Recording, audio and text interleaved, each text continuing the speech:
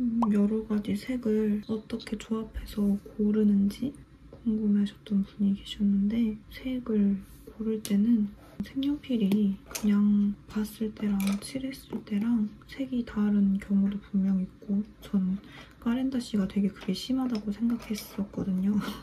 프리즈마는 진짜 보이는 대로 색이 나오는 편인데 까렌다 씨는 조금 다른 것 같아요.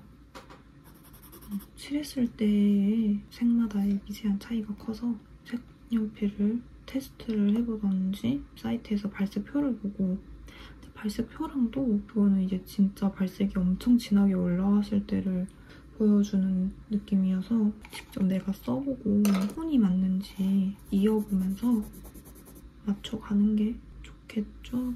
저는 그래서 그냥 그리면서 새로운 색깔들은 조금씩 조금씩 더, 해보, 더 칠해보면서 아 얘는 생각보다 톤이 안 맞네 싶으면 이제 손이 잘 안 가고 칠해봤을 때 톤이 어, 자연스럽네 하면은 많이 쓰고 뭐 잘안 맞는다 해도 이렇게 색을 섞어주면서 원래 있던 색이랑 이렇게 blending 해주고 하다 보면 그래도 웬만하면 다 어울리는 편이기 때문에 그리고 제가 막 보시면 색이 다 비슷비슷, 비슷비슷해요.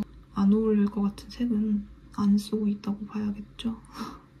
모험을 안 하는 스타일이어서 저는 막 굳이 튀는 색을 안 쓰니까 이렇게 이어지는 게 아닐까라고 생각합니다. 연한 색들을 많이 쓰기도 하고 그리고 blending은 blending pencil을 전에는 많이 쓰기도 했는데 클래스 재료 패키지에도 blending 연필은 들어가 있거든요. 프리즈마 blender로. blending 연필을 쓰는 게 좋긴 해요. 왜냐면 blending을 이렇게 하고 안 하고의 질감 느낌이 많이 다르기도 하고 특히나 이런 진한 색들은 질감 느낌 내고 싶으면 이렇게 마무리를 해도 되지만 다른 색연필로 이렇게 꾹꾹 눌러줬을 때 훨씬 진하고 비어 보이지 않는 느낌으로 마무리되니까 완성도가 훨씬 높아지게 되거든요. 근데 색연필끼리 blending을 했을 때 문제는 색연필이 너무 많이 달아진다는 게 문제겠죠. 그래서 이제 blender를 따로 쓰는데 이거는 프리즈마 건 아니고 어디 거였지? Derwent? 더 뭔지 모르겠네. 이건 그냥 다른 브랜드 거 써보고 싶어서 샀던 건데 아직 안 써봤거든요. 어, 괜찮은데? 응, 이렇게 blender 연필은 색연필을 칠하고 그냥 위에 이렇게 칠해주면 색연필이 이렇게 확 종이에 눌리면서 발색이 이렇게 높아지죠. blending 연필도 쓰면 좋아요. 좋은데 저는 blending 연필보다는 색연필끼리 blending하는 걸 더 선호하는 편이어서 어쨌든 색과 색이 서로 섞이면 그만큼 더 깊이감이 나는 거니까 그리고 저의 blending 목적은 그냥 발색을 높이는 것보다는 색을 더 해주고 싶어서 덧칠을 하는 경우가 많고 그렇기 때문에 색연필이랑 색연필끼리 이렇게 계속 색을 올렸던 것처럼 그런 식으로 blending하는 걸 선호하는 편입니다. 그리고 화이트펜도 진짜 꾸준히 질문을 많이 들어오는데 이거를 많이 쓰시죠? 그런가? 젤리롤? 겔리롤? 제가 클래스 재료 패키지에도 겔리롤을 추가했었고 겔리롤도 종종 썼었는데 제가 이 펜을 잘못 산 건지 저는 여기 안 나오지? 이렇게 어두운 거 위에다가 이렇게 콩콩콩 찍으면 근데 이거 처음에는 이렇게 그냥 물처럼 되더라고요. 그리고 마르면 이제 좀 발색이 올라오는? 그리고 제가 많이 쓰는 거는 이 시그노 화이트 0.7짜리 여기다 해볼게요.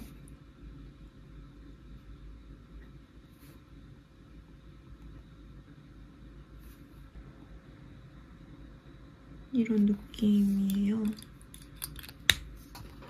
얘랑 얘랑 보시면 제가 갤리로를 잘 안 쓰는 이유는 더 물 같은 제형이라 더 작은 셈이란 표현이 잘 안 돼서 이렇게 많이 쓰진 않았었고 지금은 이 펜이 좋긴 했는데 솔직히 이런 펜들의 단점은 색연필 위에 잘 안 나오고 볼도 잘 막히고 답답하더라고요. 얘는 세밀하게 더 세밀하게 나와서 좋긴 한데 진짜 아, 또 안 나오는 거 봐. 잘 안 나와요. 그래서 요즘은 그냥 물감으로 쓰고 있는데 요즘 쓰는 물감은 이거 쓰고 있습니다. 거의 페인터즈 마지막쯤에 받았던 화이트 물감인데 하이라이트용으로 많이 쓰는 물감이라고 나온 것 같아요. 근데 굳이 이게 아니어도 그냥 화이트 물감 아무거나 쓰셔도 괜찮으실 거예요. 이렇게 대용량으로 하이라이트를 쓰기에는 너무 많겠죠? 그래서 저는 이렇게 뚜껑에 있는 거 살짝 묻혀서 콩콩 뭐 물감이니까 그러겠지만 완전히 그 화이트의 발색이라서 좋아요.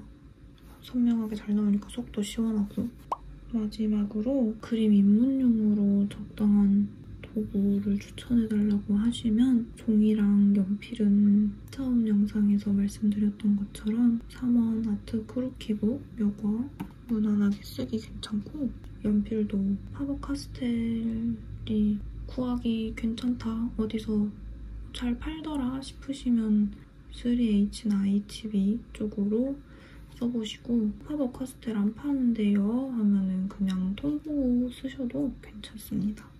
그리고 색연필은 아, 정말 고민이 되는데 색연필은 일단 내가 어떤 느낌의 그림을 그리고 싶은지 알아가는 게 더 중요한 것 같아요. 제가 고등학생 때 이제 맨 처음에 아 인물을 좀 색연필로 그려봐야겠다 맨 처음 써봤던 게 스테들러 색연필이 집에 있었고 그 다음에 이제 학원 다니면서 산 게 프리즈마였기 때문에 맨 처음에는 스테들러로 몇 번 그렸었어요. 스테들러 색연필의 특징은 제가 태어나기도 전에 아빠가 사놓았다고 했던 색연필이거든요. 아직도 있어요, 이게. 음. 스테들러는 제가 옛날에 썼었던 기억으로 생각해보면 엄청 곱게 칠해지거든요. 심 자체도 엄청 단단하고 되게 곱게 발리죠.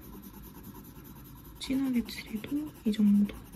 다른 이제 요즘 나오는 다른 이제 전문가용 라인은 어떨지 모르겠는데 얘는 무슨 라인인지도 모르겠어요. 진짜 옛날 거라.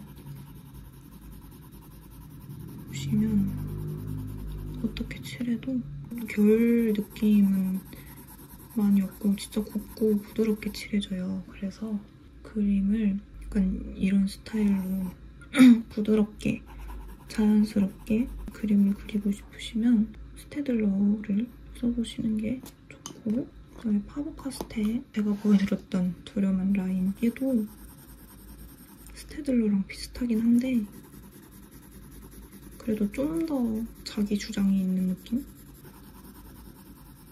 얘만큼 곱게 발리진 않는 것 같아요. 그냥 무난한 진하게 칠하면 좀 더 진하긴 한데